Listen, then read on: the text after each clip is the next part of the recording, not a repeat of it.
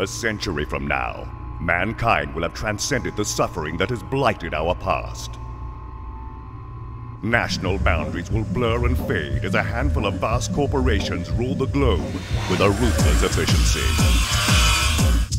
There will be no hostility, no crime, no war.